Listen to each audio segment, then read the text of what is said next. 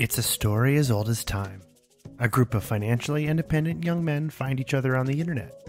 They realize they have similar libertarian beliefs and decide they should start their own nation. They then convince a bunch of other men, usually ones who aren't so financially independent, to buy into this scheme to support their big dream of building a perfect libertarian state. It doesn't really even matter what kind of internet community we're talking about, this tends to happen anywhere and everywhere. 12 years ago, Redditors tried to organize Reddit Island. And then they tried to do it again like a year ago.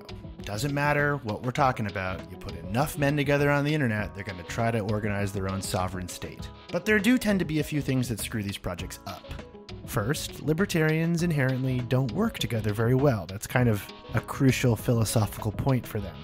Second, even if they do manage to organize themselves, they typically can't amass enough capital to buy a piece of land they can turn into their own country.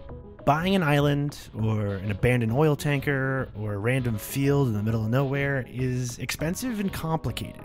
But even if everything else goes right, there is one thing no group of online free market weirdos have ever been able to agree on. It's a topic that's so controversial in this community and causes so much infighting that even the mere mention of it will implode the project, whatever it is. And that topic is, of course, age of consent laws. And that's exactly what threw the Cryptoland project into chaos last week.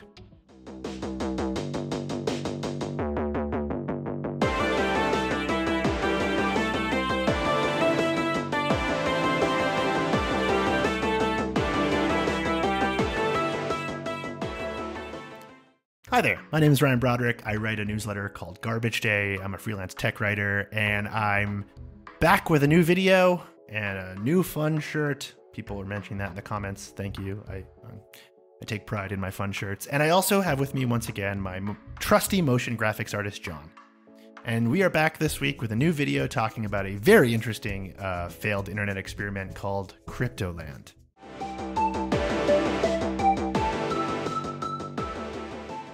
Cryptoland is what's called a decentralized autonomous organization, or a DAO, which are cryptocurrency backed communities that tend not to be decentralized or autonomous or even that organized. If you're new to this world, a DAO typically picks a goal.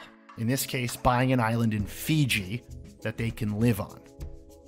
Then the DAO generates what's called a crypto token, which people can buy. That token acts like a share of a stock, and buying tokens gives you access to the community behind the project, which is typically hosted on Discord. And these tokens also give you voting power. It's a little hard to wrap your head around, but I find it's easiest to imagine if a chat room was structured like a stockholders meeting. I want to be very upfront.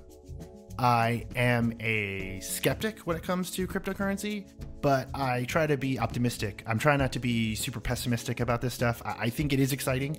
Anytime there's a new kind of generation of technology that we can interface with and experiment with, I think is a cool, interesting thing, but there are problems. I, I think we can all agree there are problems. But the crypto market is off to a pretty wild start to the year. Cryptocurrency as a whole is kind of way down in terms of where it should be as a market, investors thought, you know, Bitcoin, for instance, would be worth much more at this point. And also, a lot of inexperienced traders are being pulled in via retail trading apps like Coinbase, and they're falling for pretty bad scams. In fact, a couple weeks ago, Todd Kramer, the owner of Ross and Kramer Gallery, tweeted uh, a pretty iconic collection of words. According to Decrypt, Kramer fell for a phishing scam which is becoming more and more common uh, as a way to target NFT traders. Kramer was able to get OpenSea, the largest NFT trading platform, to freeze the trading of his apes, uh, which totaled around $1.9 million worth. But also, it became a pretty good example of how NFTs and the current Web3 landscape isn't actually that decentralized. I mean, if you really, really wanted a decentralized financial landscape, should OpenSea even be able to freeze the trading of his apes? I mean, that's a question worth asking, right? But I'd argue this response from a Twitter user named Exit Liquidity One is even funnier than the All My Apes Are Gone tweet. The Twitter user wrote, My JPEGs are at zero risk of being stolen because I'm careful as fuck and have taken the right steps to make sure I'm not vulnerable to an attack. I'm glad your JPEGs are at zero risk of being stolen. So, as I said, Web3 is the banner term for everything we're talking about in this video. It's the idea that Web 1 was a static, readable internet. Web 2.0 is a social internet made of dynamic and centralized platforms. And this kind of vague notion of Web 3, or what's sometimes called the metaverse, is a decentralized internet that a lot of people want to run on the blockchain, uh, which would turn content into assets with an intrinsic value. It's kind of hard to wrap your head around. I find the easiest way to think about it is what if the internet was built out of Pokemon cards. Uh, uh, it's kind of a not a hundred percent great way to think about it, but it helps if you're having issues.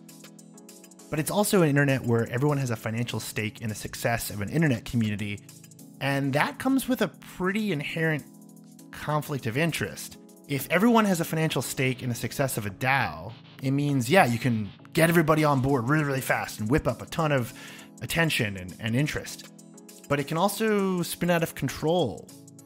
I mean, if, if no one wants to be a dissenting voice, then everyone's just sort of hurtling towards a goal that isn't really clearly defined or having any real criticism. No one wants to be the guy who pisses in the punch bowl at the party, right?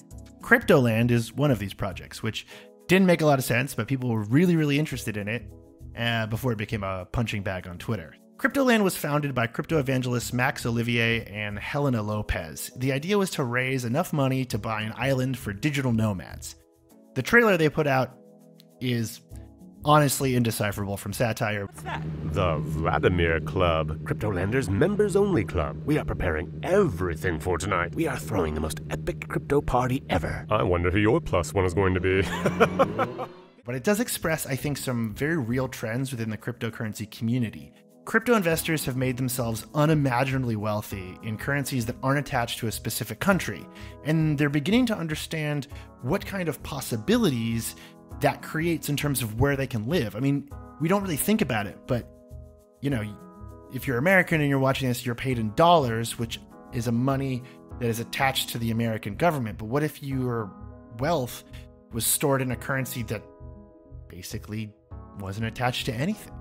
so this trailer, I'll admit, I thought it was a joke. Uh, I mean, there are several musical numbers in it, which.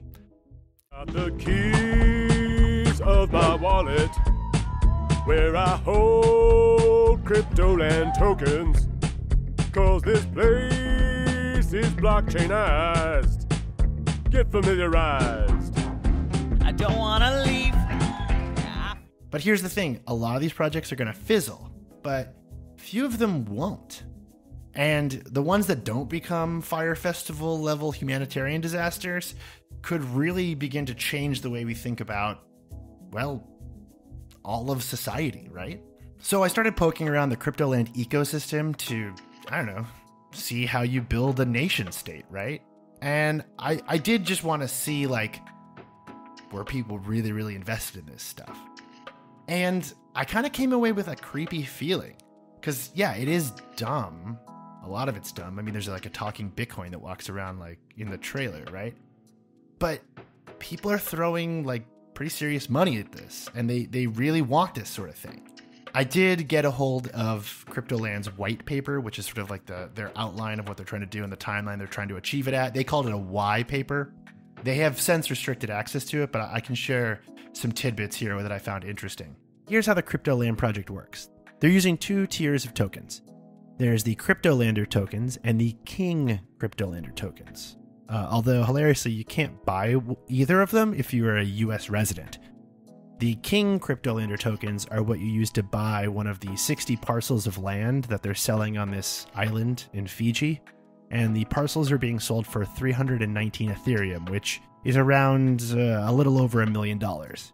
Although, from what I can see, no one has purchased any of the parcels. But their Discord before it was overrun with trolls was around 12,000 people, which is pretty big for a crypto Discord. The trailer was the first thing that got a lot of attention. I mean, look at it. Like, of course it got a lot of attention. Got the keys of my wallet. But it was an incident involving the CryptoLand Twitter account that really derailed this whole thing. Last week, Twitter user WideSauce asked the project's Twitter account what the age of consent would be on the island. And in a now deleted response that you can uh, see here, the account replied Mental maturity should be enough, winky face. Now, okay, after deleting the tweet, the CryptoLand account posted a statement claiming that they didn't understand the question and they just thought they were asking like the age of the people visiting the island. They, they didn't know like what it, they, they claimed they didn't know what it meant. They then also started threatening to sue people who uh, claimed otherwise. And I want to be very clear. I am just putting together the publicly available events that took place around the CryptoLand project. Uh, if anyone from CryptoLand wants to get in touch to clear things up, happy to publish any of that. Um, as one Redditor put it, the age of consent question is libertarian kryptonite. And now the project's Discord is overrun with trolls asking if they'll be allowed to legally murder people on the island. But there's also a bunch of seemingly genuine supporters of the project who are still in the Discord that are becoming curious what the consent laws would actually be. Wide Sauce has a whole thread about getting into the CryptoLand Discord after he had already been kicked out. At one point, he was able to get back in to ask if it would be okay to date his cousin on the island. So, what is the future of CryptoLand? Like, what happens next? Honestly, I'm not sure. I don't think anything. I think the whole thing's probably going to fizzle. I don't get a sense there was a ton of momentum behind the project to begin with, but also it seems completely destabilized at this point. And that's kind of what all of these things are. They're just a group of people who pool together money to try to achieve something. Uh, and anything like this is just going to mess it all up, right? And that's, I think, the most interesting aspect of the DAO boom right now is that, like, traditionally you'd have to create a company uh, through all the legal frameworks that are required to create a company, and then people invest money in that company, and then that company tries to do what it wants to do. But with a DAO, you can just spin up an equivalent and raise insane amounts of money, like the DAO a couple weeks ago that tried to buy a copy of the Constitution. And a lot of them are going to be kind of cringe, but some of these are going to work. And when they do work, it's gonna cause things to start to change pretty quickly. And I'm not sure in what direction. Like, we're at this really weird moment where we're post GameStop pump. We know that people on the internet can organize a bunch of money to make the market respond, but we don't know where it's headed. And I th- find that interesting and funny and, and cool and strange and obviously very stupid, just like everything else on the internet. We have an entire class of wealth holder now who don't have assets connected to anything other than an internet connection. And the biggest diehards among them are dreaming of a world where that will never change and will only become more pronounced.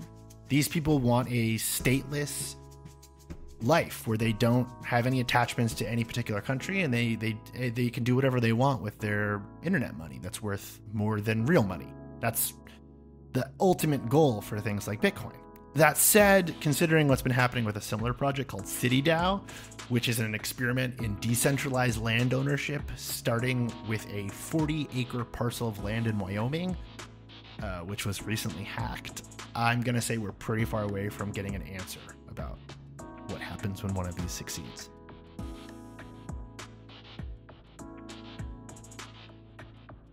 Thanks for watching. Uh, please like and subscribe. Uh, please leave a comment if you like John's motion graphics. I'm trying to convince him to keep doing these videos with me. And yeah, um, I guess my parting advice is like uh, if you come across a DAO that you find interesting, just do a lot of research on it before you give them your Ethereum because uh, no one's really watching this space and there's a lot of sketchy stuff happening. And chances are, if someone comes to you and says, like, do you want to buy a piece of land in Fiji by, by joining my Discord channel? It's probably not a legit thing. I'm going to say. You might honestly be better off just buying your own land in Fiji if you have that much Ethereum. Like, if you. Actually, that's a good question. If you have a million dollars of Ethereum, why are you working with a DAO? Why don't you just go buy your own piece of property somewhere?